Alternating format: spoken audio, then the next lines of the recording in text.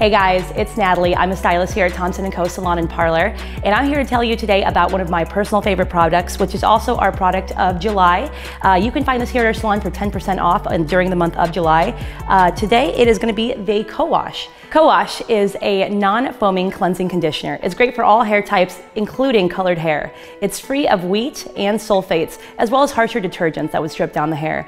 It's great to give you weightless shine, and it helps to repair damaged hair how you use this product. You use this in the shower, um, adding just a little bit into your hair.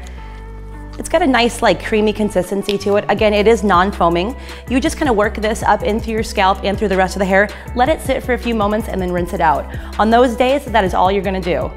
I like to add this into my regular shampoo and conditioner routine where I kind of alternate between the two just to make sure that I'm keeping the hair nice and healthy. Co-Wash is going to be available at 10% off all July long here at Thompson & Co. If you have any questions at all, you can always ask your local friendly stylist. Make sure to subscribe to us on social media and follow along with what we're up to.